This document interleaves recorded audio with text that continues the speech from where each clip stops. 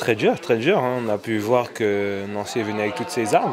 Parce que je pense qu'elle voulait euh, obtenir son maintien à la maison. Sauf que je leur ai empêché à la, fin de match. Donc euh, c'était un match assez compliqué. Où je pense que ces dix premières minutes, euh, on a fait une grosse entame de match. Ensuite, on est tombé dans un faux rythme.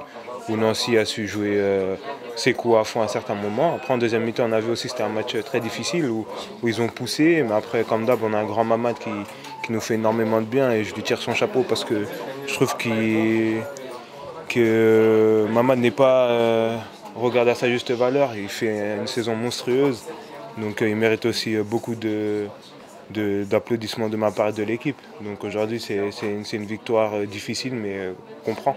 Aujourd'hui, je dirais que c'était juste un match plus compliqué que, la dernière fois, parce que Nancy joue son maintien et ils voulaient jouer leur coup à fond. Donc on leur, un gros coup de chapeau à cette équipe nancéenne, franchement, parce qu'il y, a des bons joueurs, euh, vraiment une belle équipe en face. Donc, il euh, ne faut pas regarder leur classement, parce qu'il y a vraiment, vraiment une très belle équipe. Mais euh, nous aussi, on avait nos cartes à jouer, on a vu les résultats encore ce soir. Donc, il faut vraiment bien, bien savourer cette victoire qui est difficile et en repartir de l'avant d'ici lundi. Honnêtement, je voulais la centrer au point de pénalty fort, sauf que je la tape plus bas que où je voulais la prendre, elle monte et elle redescend deuxième euh, poteau, donc euh, je la prends.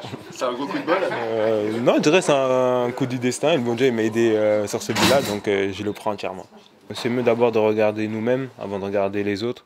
Je pense que Brest, ils ont encore toutes leurs cartes à jouer, surtout à la maison. Je pense où, ils voudront faire un, grand match chez, eux. Donc ce sera vraiment à nous de, faire un match comme on sait le faire, ne pas regarder ce que les autres équipes font et et au bout de la 38e journée, on verra où on sera.